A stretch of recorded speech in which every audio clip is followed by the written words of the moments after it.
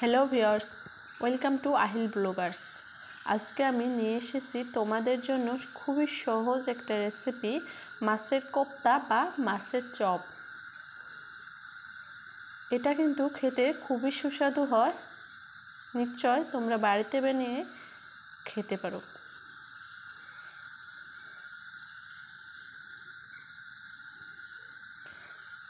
প্রথমে আমি এখানে কড়াইতে অল্প লবণ দিয়ে দিলাম, দিয়ে দু পিস মাছ দিয়ে দিব। মাছগুলোকে আমি সেদ্ধ করে নিব চার পাঁচ মিনিটের মতো। এখন আমি মাছগুলো উঠিয়ে নিব, ভালোভাবে কাটাগুলো বেছে নিব। লক্ষ্য রাখবে যাতে কাটা না থাকে। তোমরা এখানে পেটিও নিয়ে নিতে পারো।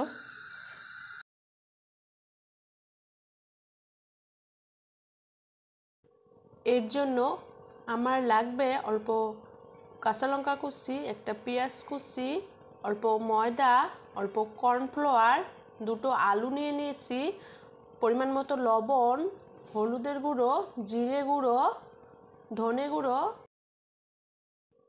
ধনে কুচি, আদা রসুনের পেস্ট, অল্প ভিনেগার নিয়ে নিয়েছি। তোমরা এখানে লেবুর রসও দিয়ে দিতে পারো, আর অল্প সয়া সস। এবারে বেছে রাখা মাছগুলো সবগুলোই আমি এর সাথে মিশিয়ে নিব। সবগুলো ভালোভাবে মিশিয়ে একটা ডোর মতো বানাবো।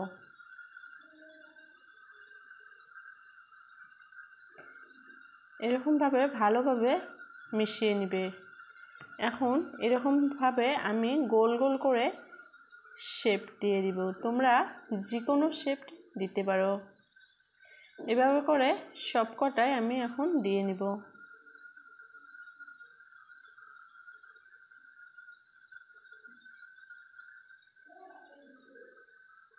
আমার সব কটা করা হয়ে গেছে, এখন আমি এগুলো ভেজে নিব। এখানে আমি তেল দিয়ে দিয়েছি, তেলটা গরম হলে এখানে আমি একটা একটা করে চপগুলো দিয়ে দিব।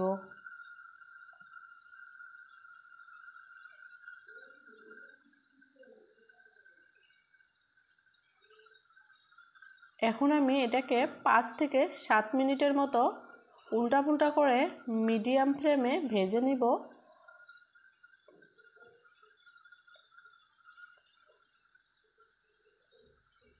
ভালোভাবে নাড়াচাড়া করে এগুলো ভাজতে হবে।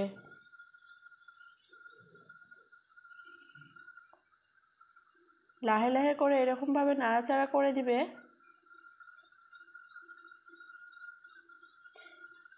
এগুলো আমি এখন উল্টে দিব।